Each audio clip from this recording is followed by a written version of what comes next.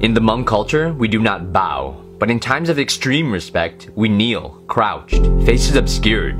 This includes funerals where the grieving family pays respect to guests who come help them grieve, to share the burden of pain, rising only when prompted by those guests.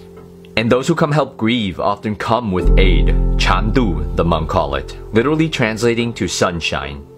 Sunshine, to aid the family in carrying their loved one to their final resting place. Money to aid funeral costs items for the religious rituals, all to make hard days a little bit easier. And to those, the men of the grieving family recite a poem of thanks. These are the cultural, traditional, religious verses recited down through the generations of funerals. So at Hmong funerals, you'll see this kneel and hear this poem. 我叫阿妈，因为被这小脚，这不这多这重这波，高一定错应该对手。Bố tàn đến na xì lâu.